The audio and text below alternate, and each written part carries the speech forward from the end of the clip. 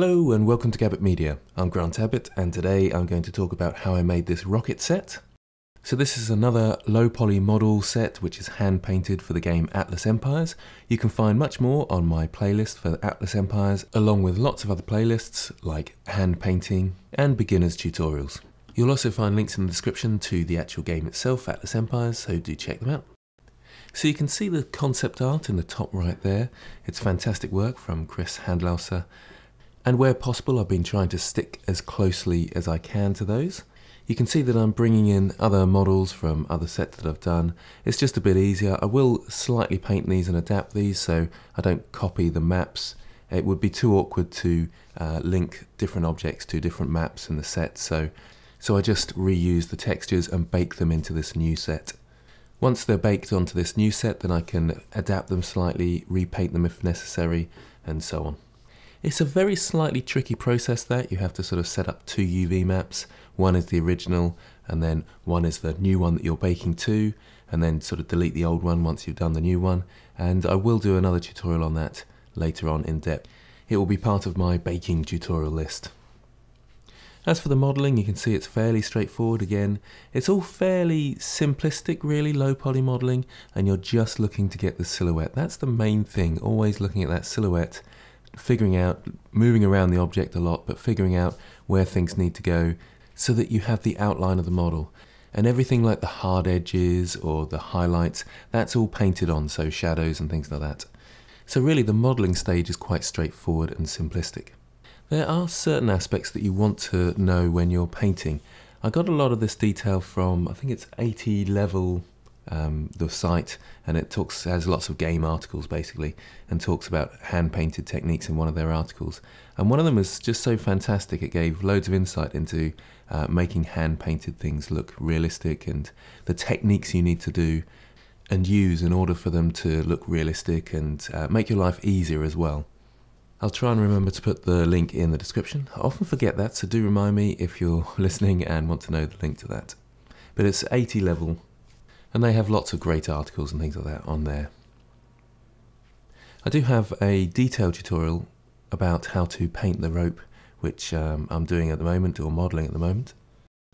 And yes, there is an obvious issue here with fire and rope, but it is um, fire retardant rope, so that's fine. And all the wood is fire retardant as well, so that's, that's great. All these models have special magical properties so that they're not affected by the fire, but the rocket is. I think that's important to mention, really. On a more serious note, you can see how low detail the rope is. Uh, there's not loads of intricate details. It's all to do with the hand painting that gives it that depth and detail. I'm keeping these sort of brick bits nice and simple as well. I add a bevel modifier here and there to give it some character and then just move around and uh, adapt the shape so it gives it uh, some life and some individuality and sort of duplicate and repeat and so forth. So you can see that it's fairly simplistic still, nothing too complicated. You'll notice as well, I don't worry too much about n-gons, they all get converted to triangles in the end, and it's just easier to modelling n-gons if you need to. You can only really do that on flat faces, if it's anything that's going around a corner, then the n-gon will look really odd and just won't work, so you'll need to triangulate those. Here I'm using the mirror modifier. You have to be a bit careful with the mirror modifier. Uh, I'm doing a sort of modular approach that I talk about a lot. And generally speaking, mirror modifiers are great, or mirroring is great, because it cuts down on the texture space. So you get a nice lot of space and pixels to work with. But you do have the problem that the texture is exactly repeated. So for something like Metal, that can be a bit of a pain because your highlights should be different and reflections should be different in different places. So it can look a bit odd if the mirror is quite close to each other and you can really see the duplication. So you have to be a bit careful of that. I'm spending a fair bit of time modelling the oven bit, or this meta metallic oven that's here. And that's sometimes the tricky bit of knowing how detailed you need to go. Again, just look at the silhouette, look at the outline of your shape, and that's the main and most important. So uh, where you're looking at an angle, uh, do the things stick out and protrude? If they don't and they should, then you'll need more topology. If you're looking at an angle and you think, well, this vertex or this um, shape or polygon here doesn't really need to be there because it's not sticking out, then you can get rid of it. It's complicated to explain, but you can hopefully see how much detail I'm putting into these objects. It's something you do get with experience as well. Occasionally I put a bevel in and I'm not sure whether that's correct or not and there might be an extra polygon that I don't really need but sometimes it's best to go just a few more polygons than you need rather than too few. You can actually add polygons in the process of painting, but it's very awkward and you can only add them in certain places, otherwise your textures will start to stretch. So if you need to extrude a whole chunk out of a model, your textures will all stretch and you'll need to unwrap that separately. And then you'd need to find some space in your UV unwrap unless you want to paint everything again or bake it onto a new map. So it can be quite awkward and in a sense destructive this process. So as soon as you start painting, uh, you're kind of stuck with what you've got unless you've got a bit of free UV space. Part of the trick here is often finding which objects you can repeat and duplicate and use again. So the feet, for example, are an obvious one. Uh, they're quite small and no one's going to notice that they've been duplicated and repeated. They could even take up a very small portion of my UV map, so I could make them very small on my UV area and just take up almost a pixel of colour because they're so minute and small and they're going to be one uniform colour. You can see the detail I'm having to go into with this model because there's some nice aspects and nice details to it. But the more you, detail you go into, the more polygons you have, and also there's quite a lot of individuality in this set, so there's not a lot of repetition, only in things like the rocket, obviously. That means when it comes down to painting, I'm going to have very little texture space, and that's why I'm cutting out all these sections here, making sure that they don't overlap and they're not unnecessarily needed. It's good practice where possible to cut down on any overlap anyway, especially if you've got faces that aren't going to be seen. With this modular approach, it's important that if I've got something that's copied, it will be a link duplicate, so if I change anything on the link duplicate, it will update to all the other ones, so I'll paint them first before deleting faces.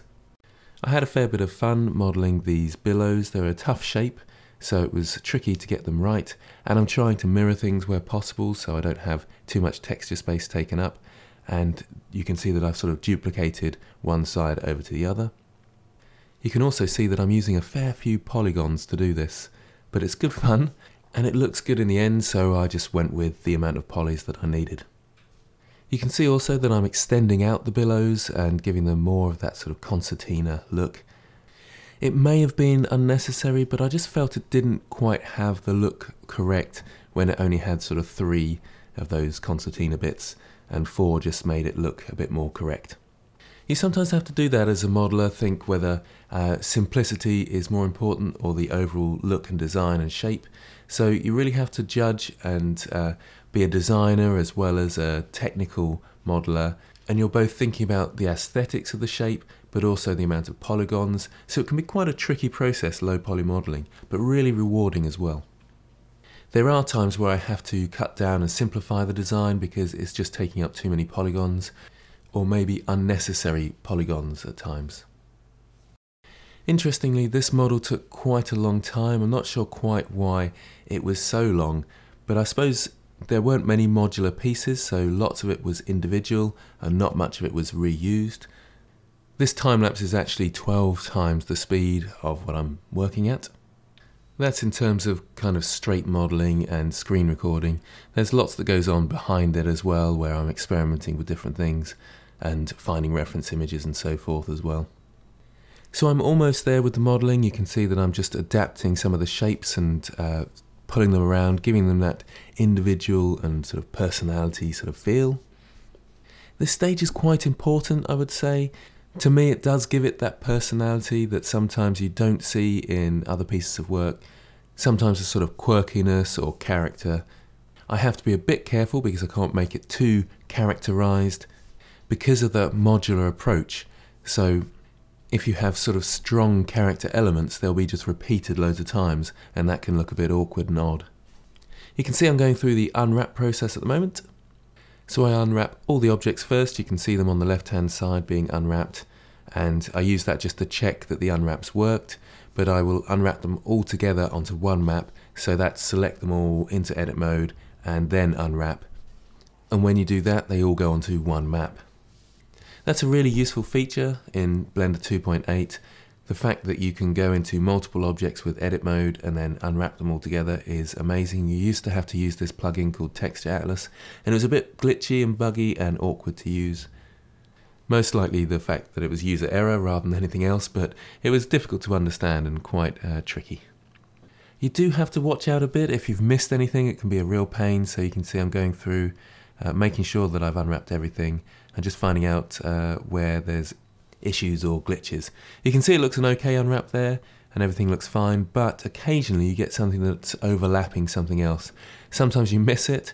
I think there is a way of showing overlap. It might be a plugin actually, but I can't remember. Generally, it's fairly easy to spot, and I like to go through my UV maps uh, with a sort of fine-tooth comb anyway. So here you can see that I'm just baking from a old map into a new one. Again, you, you have to set up a new UV map and then bake it across to the new texture. So where I'm taking these logs or the bucket type thing, I've baked the map onto this new map. This process does seem a lot easier in 2.8, I'm not sure quite why that is, but I'm having much less glitches and much less problems with it. You can see the logs all going a bit funny and they look like they've gone wrong, but that's actually because uh, the UV map is changing and updating. And you can see now that I've changed across to the final bake, it looks fine. And so now I'm on to the painting process. And this is my favourite process, where the models really come to life. Now what I'm doing is I'm painting in the glow of the fire. The fire will be added as a particle effect, but I'm painting in the glow so you can see the effects of it. Remember there's lots of playlists on hand painting techniques and I go into detail with some aspects. I need to do a bit more of that as well as I've learnt more as I've been going along. The tough bit was the metal bit.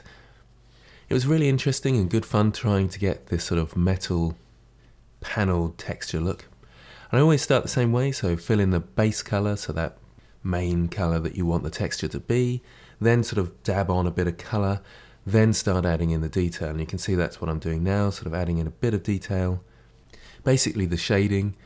I think some people prefer to start from a completely dark canvas and then sort of build up with light, or a light canvas and bring down into the shades. I prefer to start from the middle and put dark bits on that I want and light bits on. And you can see that's what I'm doing here, just highlighting the very edges of the metal. I did have problems with this, the texture map was so detailed and there was so much in it that you can start to see the pixels when you get in close, and that made it tough for painting. For this model I didn't really want it to repeat, especially these metallic bits because I feel like they don't quite work if they're like that. It is repeated across one side to the other, so there is a mirror in there, but it's normal for me to do this four times over, so I'd actually do a mirror X and Y, but in this case I only did it in one axis so that it's not too obvious it's mirrored. You can see me doing these rivets, I just do a dark spot and then a light spot on top of it, and that tends to work okay. This isn't as detailed as I would have liked to have gone. I feel like it's uh, lacking a little bit of depth, but it works out alright in the end. I'm adding a bit of rust drip here as well, so sort of browny colour across as if it's dripping down from those rivets. Lastly, I just put a bit of highlights in there, so a shiny white, so there's a glare or a highlight just on the edge of some of them. I think it may have been a bit too much with the highlighting actually, so it sticks out a bit too much, but I felt like there wasn't enough depth in places. So you can see me here rubbing out a few of those highlights just to give them a bit more character. Now here I've gone in with a darker brush and I feel like I might have gone a bit too far with this, so a bit too much shading. And again, I was worried about that depth that it didn't seem to have, but it seems to just about work anyway. I'm usually fairly rough in bits that really probably won't be seen, like the underneath of the rocket, and just uh, worry about the very edges of that. But I tend to think it's important to have some sort of colour there and don't leave it completely blank or weird anyway. And the last bit you can see me doing is the glow from the fire. So it looks a bit odd at the moment, but I'll give it a yellow glow so it looks like it's uh, picking up the light from the fire. That's why I wanted all these logs to be individual so that I could paint that red onto them. Otherwise I think they'd look quite odd if they didn't have any glow to them at all.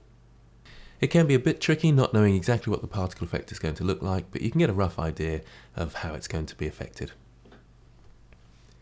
So onto the wood here, I've got a couple of tutorials on painting wood now, so hopefully you've got enough detail if you want to try that out for yourself. Again, base colour, get the grain in there, highlights, shadow, fairly straightforward really the wood.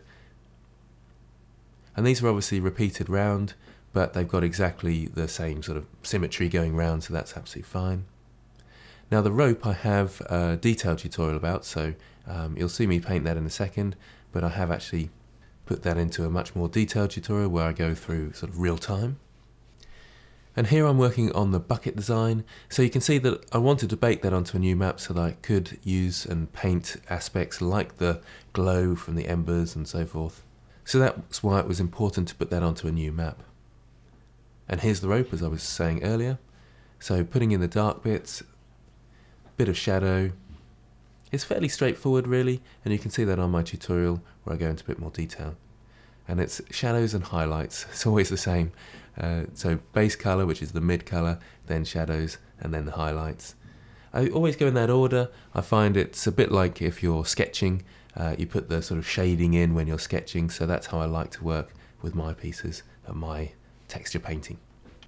Well, you can see here that the colour doesn't match up completely and it slowly gets there with a bit of effort and a bit of work, but it's just when you've got two different objects and you haven't given them the same base colour or you've just sort of adapted that base colour slightly, it can be a little bit tricky. And you can see I've obviously made a mistake there where I didn't give it an inside, so I had to use a spare space on my UV map and although I did that fairly quickly here, you can probably see it in the very top left corner. So it's a very small bit because it's not really going to be seen, but I need it to be there just in case. If I didn't put that face in there and people were able to look very slightly inside, they'd see completely through the object. And if something's really bright on the other side, it would look really odd. So I just needed that inside model to be really dark so that no one could see through. But it didn't have to be detailed, so it could be a really small, tiny little map in the corner there. So onto the stonework again, I've got more detailed tutorials about how I do this. Just adapting the shape slightly to make sure it fits in and doesn't stick out. And you sometimes have that problem when you go around and you suddenly think, oh, there's a gap there or there's a bit that needs sorting out there. And generally it's not too bad because it's a small glitch, but if it's a big glitch then it can cause real interruptions in your workflow. Interestingly, with stone, actually, I do it slightly differently because I use the highlights a bit earlier than the uh, crevices. So if there's a highlighted edge, uh, then I'll paint that in. But hopefully you get the idea of my process. You can see these character elements. I can do a few character elements like this and not worry too much because it's mirrored across uh, the Y in this case, and you don't really see one side and then the other together. But those character elements can fail if you can see them both together uh, and close together as well. You can also see that I'm painting shadow of other objects, so the ambient occlusion onto the object where I can. And that's a problem when you're doing modular assets because if you paint the ambient occlusion onto one, it will appear on all of them. So you have to be very careful when doing that, and that's a limitation of modular designs as well, that you can't really have the ambient occlusion painted in. I think that's one thing the team realised early on uh, when I started doing the project, and they could see from my paintings. Uh, they were pleased with my paintings, but that was the one thing they felt was lacking was that sort of depth, and they've managed to uh, find enough in the sort of performance budget to put a light in the scene. And I think that will make a massive difference having one light. It was very difficult to get round that actually with the ambient occlusion and putting in that depth with that modular approach. One thing I have heard, but I'm not sure I've got this right, but I think they actually use models as the shadows. So they just have a very sort of dark grey that they put on top of things uh, to make it look like there's shadows.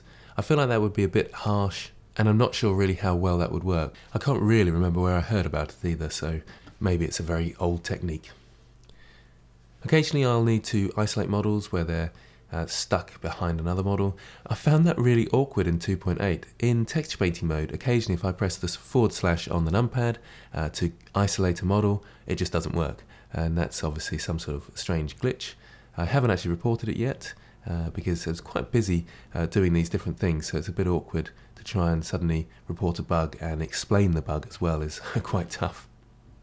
You can see sometimes, which I have explained before, about uh, the fact that I go from soft shading uh, to hard shading. So I use the principled BSDF when I need to see the edges, and then I use the emission node when I want to see the final output.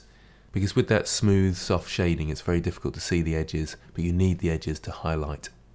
If you miss your highlight, it can look really awkward when you're moving around your object and suddenly the corner isn't highlighted and it just looks really odd. So make sure your highlights, those sort of white bits that are following the edge, do follow the edge perfectly as you can anyway. That's often a problem with low poly modeling is the edges can be quite sort of jaggedy. So if you're doing a curve, the edges around a curve can be quite sort of lumpy, uh, like a sort of more like a hexagon or something instead of a circle. And you've got to try and find the edge or as match the edge as closely as possible when you're doing your highlights. So it can be quite awkward. One thing I don't like at the moment are the way I'm doing cracks. I keep looking at them thinking that's fine, but then I look back and I'm not happy with it. it's frustrating, so that's something I need to practice, obviously. I think for this rocky base I did put quite a few sort of character elements in there because I didn't mirror it and I just forgot to do that but it means I can add more character elements which is quite nice and it's not really a waste of space because I can utilize that space and uh, give it those interesting details. So you can see here I've changed the principled BSDF and I can really easily see the corners and then go around and give them that highlight. I was noticing a glitch in here so there was obviously something wrong with my UV map somewhere. So I went in to just double check. I couldn't find the problem so I just left it and it's not really any sort of big issue but there was some sort of strange glitch that I couldn't paint on one aspect of the model. It's very rare that happens with Blender, but it does happen and it can be extremely frustrating if it's in an important place. This bit was quite fun, sort of painting the fiery glow coming out of the boiler burner thingy-jiggy. Hadn't done many of these sort of things before, so it's quite fun sort of researching the best way to do it and figuring out uh, which sort of colours to use and the right variations so that it did look like it was glowing. You can see me isolating the faces as well. It looks a bit strange at this point because the faces were really isolated so they got very sharp edges to that glow. But in a minute I put a sort of soft yellow light around the whole thing. Uh, right at the end I think I'll do that.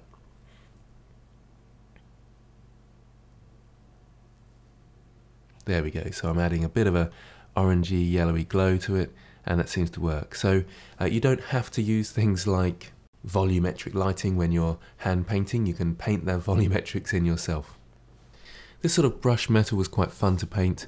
Uh, much more difficult is the shiny metal because of the reflections.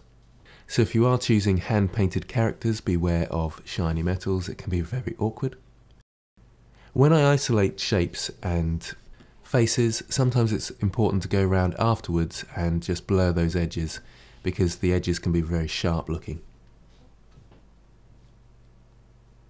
So once again, back into the principled BSDF to uh, see the edges so I can highlight and add in the shadows where needed.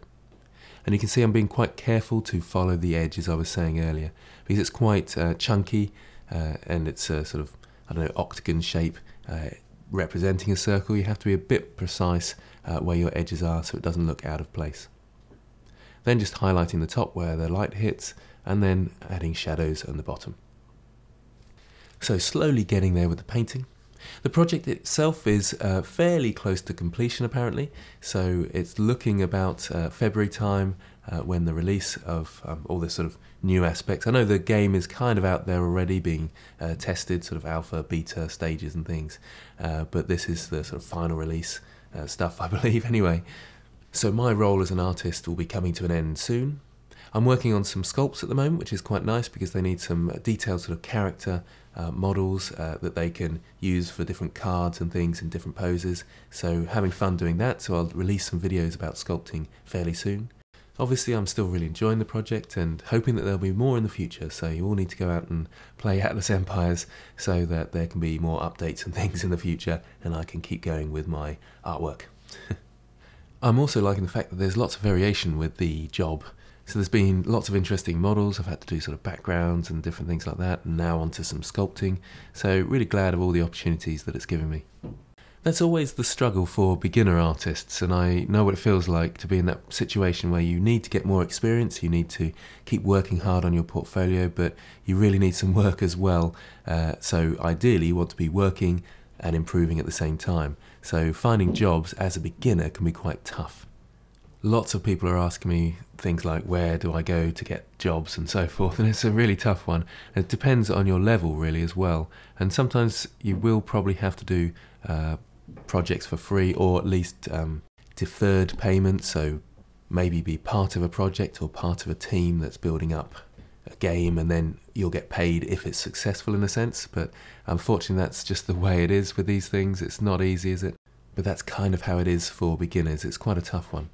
Now you can see there I had a slight glitch with the model where I couldn't paint onto a face and I had to go across to the UV map on the left hand side to paint uh, which is quite rare in Blender, like I said earlier, but it happened a fair few times in this particular model, and I'm not really sure why. I think it's because of the texture detail, there was just wasn't enough pixels there for me to paint on. Which is kind of strange because this model set isn't particularly detailed if you think about all the buildings that I've done, and there's 10 of those in a set, but because they were so individualistic, uh, they're taking up a lot of space on the texture map. So the other ones where they're modular, there's uh, lots of times that module's reused, but in this one, uh, the only real thing that's modular as such is the rocket. Um, sometimes they're used twice or so, but generally speaking, there's lots of bespoke stuff in this particular set, which is probably why it took me so long.